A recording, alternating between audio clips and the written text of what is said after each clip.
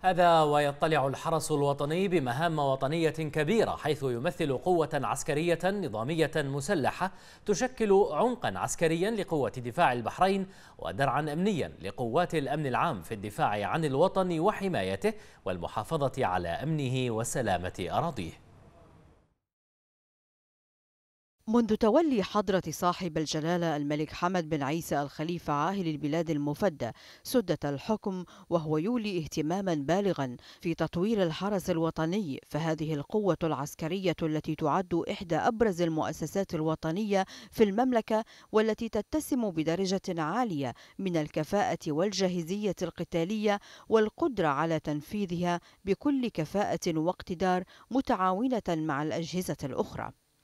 ولا شك أن هذا النجاح الذي حققته هذه المؤسسة العسكرية كان بفضل الرعاية والاهتمام من لدن جلالة الملك المفدى القائد الأعلى والتي كان لها الأثر الإيجابي في جعل الحرس صرحا عسكريا يسهم في توفير الأمن والاستقرار وصون مكتسبات الوطن وحفظ أمنه وأمن المواطنين.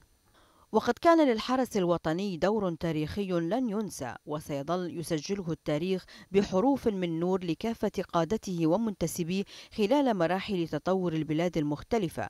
ويعد التدريب من الركائز الأساسية التي تبنى عليها استراتيجية تطوير قوات الحرس الوطني ويهدف إلى تطوير قدراتها التخطيطية وتنمية مهارات الضباط وضباط الصف والأفراد في جميع تخصصاتهم. ويحرص جلالة الملك المفدى القائد الأعلى على توجيه ومتابعة هذه البرامج التي لها دور أساسي وفاعل في رفع الروح المعنوية لعناصر الوحدات والتشكيلات وغرس قواعد الضبط والربط العسكري بينها.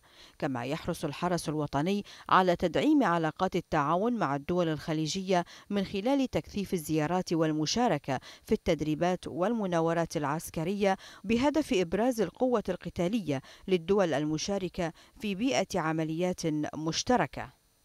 وقد عمل الحرس الوطني على تفعيل دوره الإنساني إلى جانب واجباته العسكرية وذلك في إطار المسؤولية والشراكة المجتمعية التي يحرص على تفعيلها بالتعاون مع مختلف الشركات والمؤسسات في البحرين.